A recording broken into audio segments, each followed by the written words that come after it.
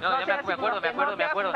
Me acuerdo. Hola, ¿qué tal queridos suscriptores? Bienvenidos a tu canal Farándula Perú y más. Así empezamos con las novedades el día de hoy. Esposa de Melcochita enfurece con Rodrigo en vivo por recordarle prueba de ADN. Rodrigo González, conductor de Amor y Fuego, pasó por un bochornoso momento cuando entrevistaba a la esposa de Pablo Villanueva, Melcochita, Montserrat Seminario. Todo ocurrió cuando el popular peluchín le preguntó por las hijas del actor cómico, quien hace poco fue internado en un hospital de Nueva Jersey por casi sufrir un derrame cerebral. Veamos a continuación lo que dijo Montserrat. Ya mi hija Constanza tiene 12, Esperanza tiene 11 y Cecilia va cumplir en diciembre 8 años.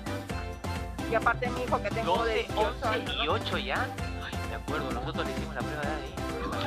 Claro. Ay, Cállate la boca que Ay, te van a contar mis hijas. tiene- tiene razón, No seas, No, ya me- seas me acuerdo, me acuerdo, no me acuerdo. tarao. Me acuerdo de tú, me- tantos años han pasado ya. Qué va. Sí, pero si vas a hablar, si vas a hablar, habla con, con razón, no con tonteras. No, no, Ante esto, Rodrigo González no se quedó callado y se defendió. Vemos a continuación lo que dijo el conductor. no son tonteras, te- tenemos imágenes, pero No, no es el es momento que- de hablar de esto, Monserrat, no te la ignorancia, la ignorancia, eso ya pasó. Yo tengo mis hijas alrededor que me están escuchando. Está bien, No está te das bien. cuenta. Está bien, pero no, les, no los estreses. Yo no he dicho nada más de lo que he No, no, dicho. te- te- Tú eres la que está haciendo más bulla de la que deberías y haciendo... No, no, no, no, no, no soy bulla. Hay que, hay que guardar un poco de... Montserrat, tampoco- Montserrat, así, tampoco lo a traer Montserrat. Montserrat, yo no he dicho nada malo. Tampoco tengo por qué saber con quién estás mientras haces una llamada a nuestro show. Entonces, no me hables como si te hubiera hecho algo a propósito o de mala intención o de Bueno, mala manera a, reprochar, llámame por otras cosas, no por estar molestando.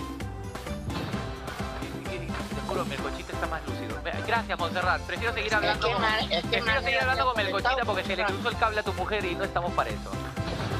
No, no, no importa, se ha molestado un poquito, Melcochita. Hola, hola, saludos a todos. Ay, ya se arregló. Hola, Susan, ¿cómo estás, Susan? Te mando un beso.